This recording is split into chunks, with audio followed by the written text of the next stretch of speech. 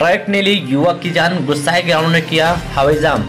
पूरा मामला सदर कोतवाली के मचिया कला गाँव का है, जहाँ पर सदर कोतवाली के पगोई गाँव के गोकुल अपने रिश्तेदार निवासी सरुखा के यहाँ फ़ंक्शन अटेंड करने गया था। तभी अचानक तेज रफ्तार से आ रहे अन्य ट्रक ने बाइक सवार गोकुल को कुचल दिया, जिस कारण गोकुल का छत हो गया। वहीं बाइक पर बैठा चचेरा भाई बाल बाल बच गया। जिसको मामूली चोट आई और आपको बता दें कि दुर्घटना करने के बाद ट्रक ड्राइवर ट्रक छोड़कर भाग गया। घटना को लेकर गुस्साए ग्रामीणों ने हवाई पर चक्का जाम कर दिया, जिसकी सूचना पाते ही सदर कोतवाली पुलिस सैयद राजा पुलिस घटनास्थल पर पहुंचकर गुस्साए ग्रामीणों को समझा बुझा कर चक्का जाम हटवाया तथा शिव को कब्जे में लेकर पोस्टमार्टम के लिए चिकित्सालय भेज दिया गया। साथ ही आपको बता दें कि मृत्यु गोकुल को पिता बिजली विभाग के चंदौली में बड़े बाबू के पद पर तैनात थे।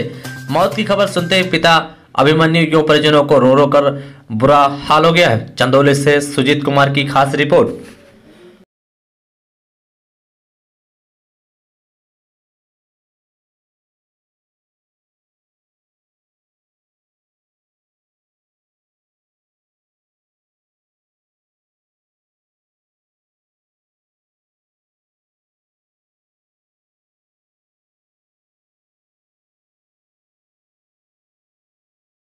एक, एक एक्सीडेंट एक्सीडेंट हुआ था। कैसे हुआ एक्सीडेंट एक्सीडेंट जो है ट्रक के द्वारा किया गया। लड़के का नाम पता है आपका? गोकुल। गोकुल नाम। कहाँ के रहने वाले हैं गोकुल? फगुया कैसे एक्सीडेंट हुआ बताएँ। यह ट्रक के द्वारा एक्सीडेंट हुआ है। हाँ। लड़का जो है गाड़ी साइड में गाड़ी खड़ी थी। बाएँ तरफ़ अपनी बाएँ तरफ़ था। उसके विपरीत दिशा से उसके विपरीत दिशा से ट्रक वाला आ रहा था। वो ट्रक वाला लहराते हुए आ रहा था। तो लड़के ने उसको हाथ इशारा करके रोका और कहा कि जो गाड़ी सही से चलाओ।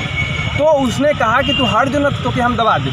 तो लड़का कहा कि यार ऐसे नहीं आराम से जाओ फिर कुछ गाली गलौज हुआ उसमें और लड़का थोड़ा सा हटा नहीं उसने आपका कहने का मतलब ट्रक वाले ने जान से हाँ, जान जान से- जान- जान- जान- तो- जान जो है कहने के बाद नहीं सही से जाओ। हाँ। मगर वो ज़बरदस्ती वो हट जाओ तभी दबाते चले अभी आप लोग चक्का जाम किए थे हाँ। प्रशासन द्वारा क्या आश्वासन मिला? प्रशासन द्वारा कुछ भी आश्वासन नहीं मिला। अच्छा, ट्रक- गया है कि केस चलेगी केस के दौरान जो भी होगा उसका मिलेगा।